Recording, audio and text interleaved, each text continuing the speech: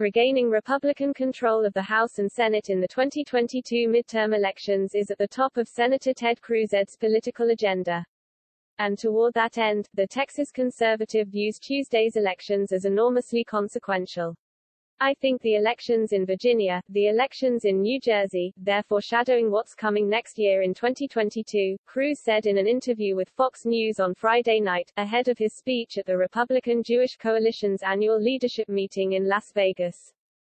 Republicans are energized following now Governor-elect Glenn Youngkin's narrow victory over former Democratic Governor Terry McAuliffe in Virginia, a state that Joe Biden carried by 10 points just a year ago and where GOP candidates hadn't won statewide in a dozen years. Republicans also captured the offices of Lieutenant Governor and Attorney General, and recaptured the majority in Virginia's House of Delegates. In deep blue New Jersey, GOP nominee Jack Ciattarelli nearly unseated Democratic incumbent Phil Murphy in the gubernatorial race, and the Republican Party made gains in the state legislature. I endorsed Glenn. I campaigned with Glenn. I barnstormed all over the state of Virginia with Glenn. Spent two days doing rallies all over Virginia, Cruz said. The potential 2024 presidential candidate predicted that 2022 is going to be a wave election. It's going to be an election like 2010, when the GOP decisively recaptured the House and made major gains in the Senate thanks to a massive red wave fueled by the Tea Party movement.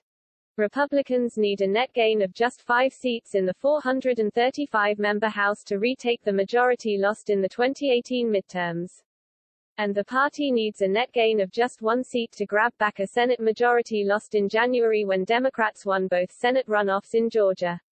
Senator Rick Scott of Florida, who also addressed the Republican Jewish Coalition on Friday, is also optimistic about the 2022 midterms. We're going to take back the Senate, absolutely. What happened this week was historic, Scott told Fox News ahead of his speech. We're going to do unbelievably in 2022 because we have the right message. Scott, the chair of the National Republican Senatorial Committee, the re-election arm of the Senate GOP, said absolutely when asked if this week's victories makes it easier to convince GOP governors Chris Sununu of Arizona, Doug Ducey of Arizona and Larry Hogan of Maryland to run for the Senate next year. I'm hopeful that we'll continue to see great people get into the race. I think governors do very well in Washington, D.C., said Scott, a former two-term Florida governor. Sununu, who was also attending the Las Vegas conference, told Fox News he'll decide on a potential Senate run in the next week or so. Maybe sooner. Cruz, in his speech, told attendees to urge Sununu to run for Senate. Every person here needs to come up to Chris and say, Governor is great, but you need to run for Senate. Because this man could single-handedly retire Chuck Schumer as Majority Leader of the Senate, Cruz said to applause. While the 2022 midterms were top of mind at the gathering of party leaders, activists, rainmakers and mega donors, the confab also appears to be one of the first major cattle calls in the 2024 GOP presidential nomination race, drawing eight potential contenders, including Cruz and Scott. Cruz was the runner-up to former President Donald Trump in the rough-and-tumble 2016 Republican primary and caucus battle, and when asked if he's ruling out another run, he quickly answered absolutely not. When I ran in 16, it was the most fun I've had in my life, he said. History shows the runner-up in the Republican Party is almost always the next nominee.